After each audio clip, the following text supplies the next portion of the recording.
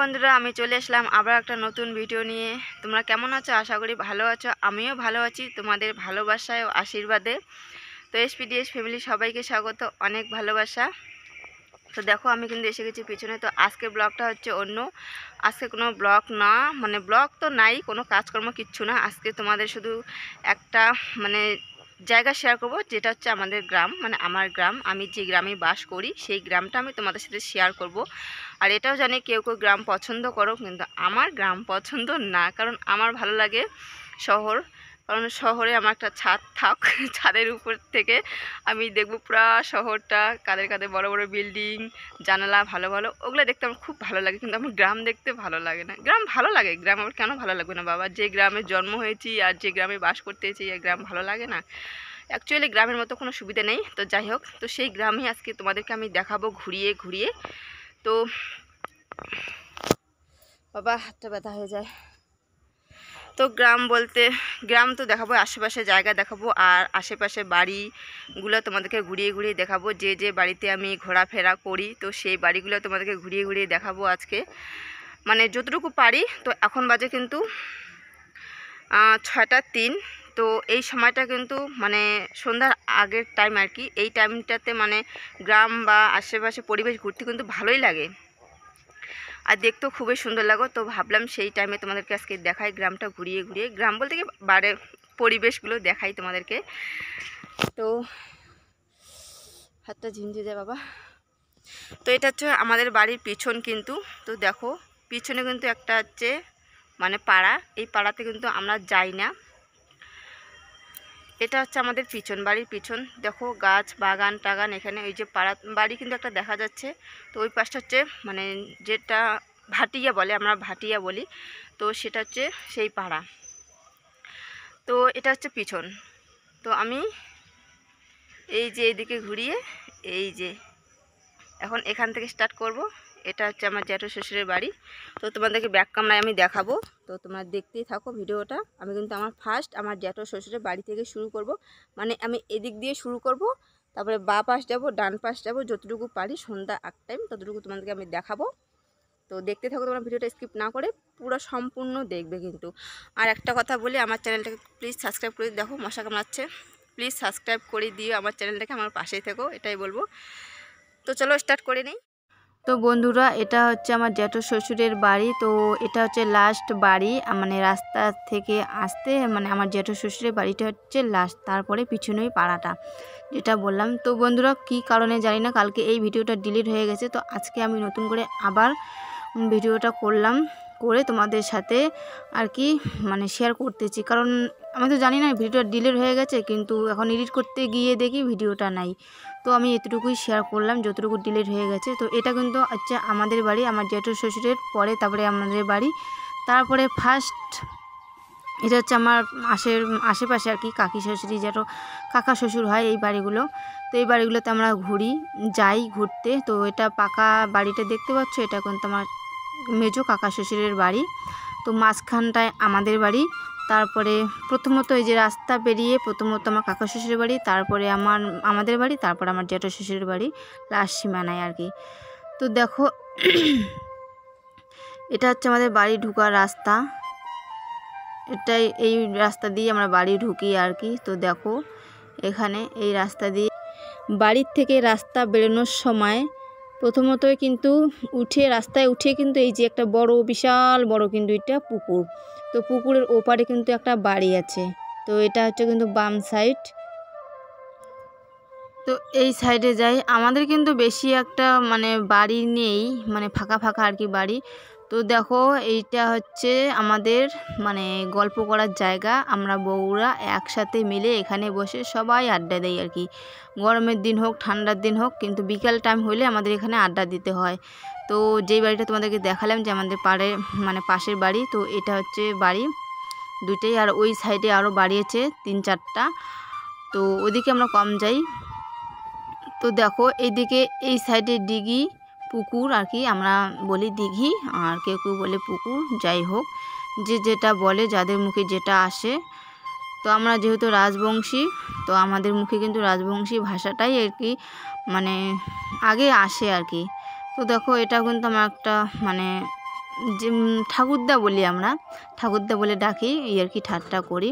তো এটা হচ্ছে সেই ঠাকুরদাটার বাড়ি। তো দেখো, সেই বাড়িতে কত সুন্দর পান লাগিয়েছে মানে সুপারি গাছে পান, পেঁপে মানে এদের বাড়িতে সব কিছুই আর কি ওরা মানে করে। বাড়িতেই আর কি লঙ্কা হোক, পান হোক, পেঁপে হোক, ঝিঙা হোক তারপরে মানে অনেক ধরনের শাকসবজি ওরা বাড়িতেই আর কি তৈরি করে।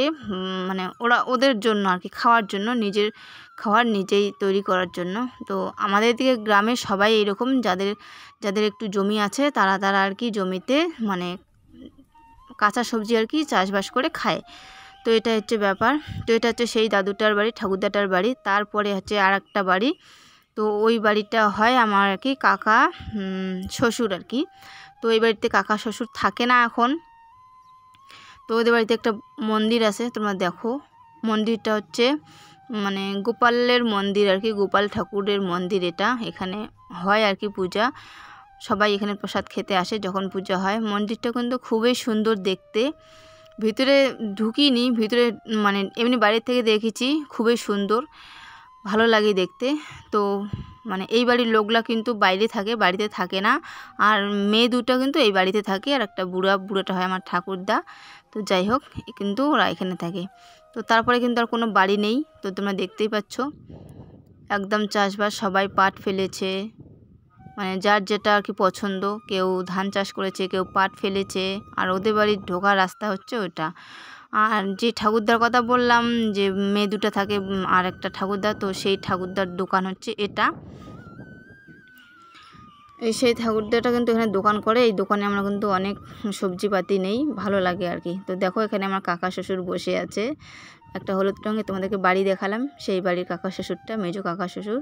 তো দেখো এই যে এইদিকে একটা রাস্তা গেছে, এই সেই রাস্তাটা তোমাদেরকে পাড়াটা বললাম না, একটা ভাটিয়া পাড়া, তো সেই পাড়াটায় যায় এই রাস্তাটা দিয়ে। ওইদিকে আমরা খুবই কম যাই আর কি, ওইদিকে আমাদের কোনো যাতায়াত হয় না। যখন আর কি দরকার হয় তখন যাই, তাছাড়া এমনি যাই না। তো দেখো, সবুজে সবুজ, দেখতে কিন্তু খুবই ভালো লাগতেছে। সত্যি আমি যে ক্যামেরা করতেছি না, সত্যি মনের আনন্দে ক্যামেরা করতেছিলাম।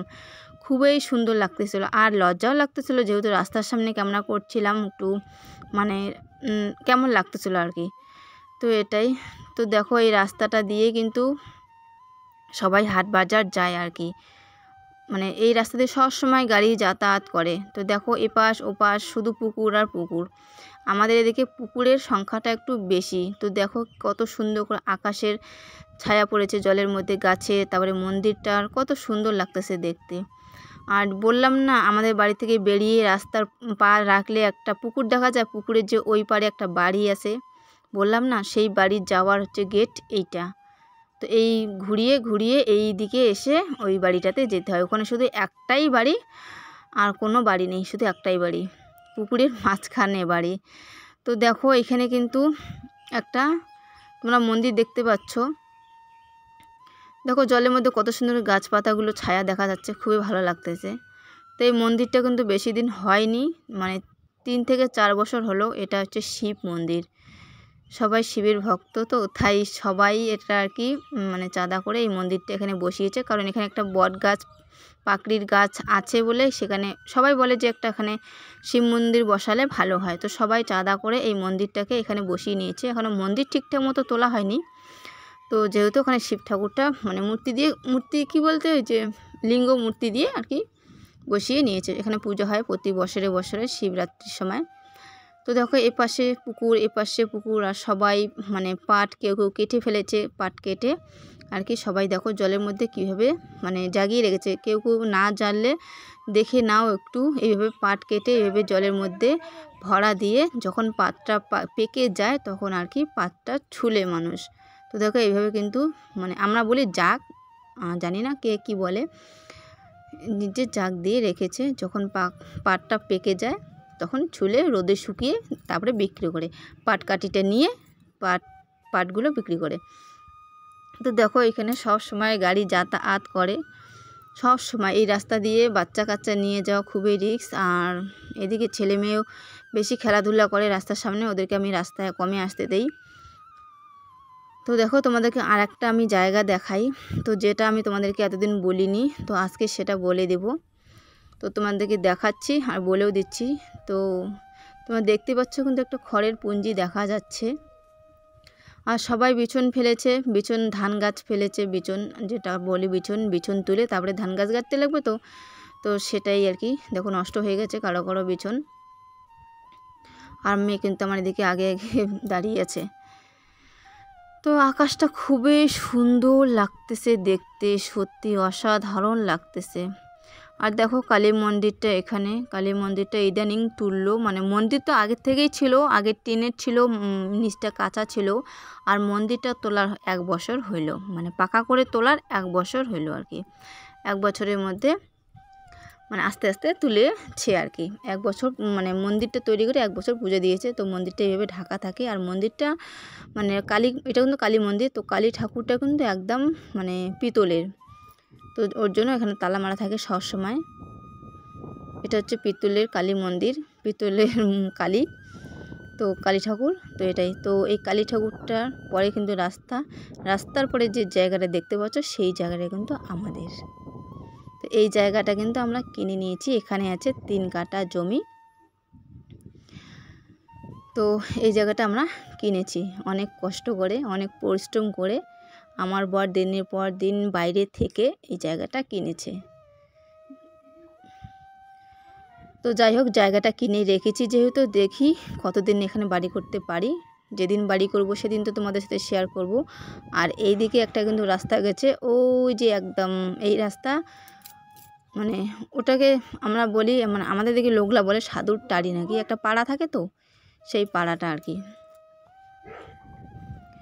তো যেখানে বাড়ি করব, সেই বাড়ির পাশেই আর কি আরও বাড়ি আছে দু একটা। তো এদিকে কিন্তু আমরা আসি আর যেই বাড়িটা টিন দিয়ে ঘেরা দেখতে পাচ্ছ, ওই বাড়িটা কিন্তু মিল আছে। আর মিল আর কি, মিল বলতে ধান ভাঙা মিল। তো আমাদের কোনো অসুবিধা হয় না। আমরা আমরা বউরাই আর কি সাইকেলে করে ধান ভাঙতে এই বাড়িটাতে আসি। যেহেতু পাঁচ দশ মিনিটের রাস্তা, বেশি দূর তো রাস্তা না, পাঁচ মিনিট। হেঁটে আসলে পাঁচ মিনিট লাগে। আর সাইকেলে গেলে দু মিনিট, এটাই আর কি। তো বন্ধুরা, তো এটা হচ্ছে আমার গ্রাম। আমি যে গ্রামে বাস করি, এটা আমার পরিবেশ। যে পরিবেশে আমি বাস করি, তো যত মানে যত দূর আর কি ঘুরে ফিরে বেড়াই, তো তত দূর তোমাদেরকে দেখালাম। তো ওই সাইডটা আর কি মানে অত দূর তো আর যাওয়া যাবে না ক্যামেরা নিয়ে ফোন নিয়ে হাতে এইভাবে ক্যামেরা করতে করতে তো পারব না। তো ওর জন্য দূর থেকে দেখাই দিলাম। তো এটাই। তো বন্ধুরা যদি আমার গ্রাম ভালো লাগে, তো তোমরা একটু লাইক কমেন্ট শেয়ার করো আমার চ্যানেলটিকে সাবস্ক্রাইব করে দিও।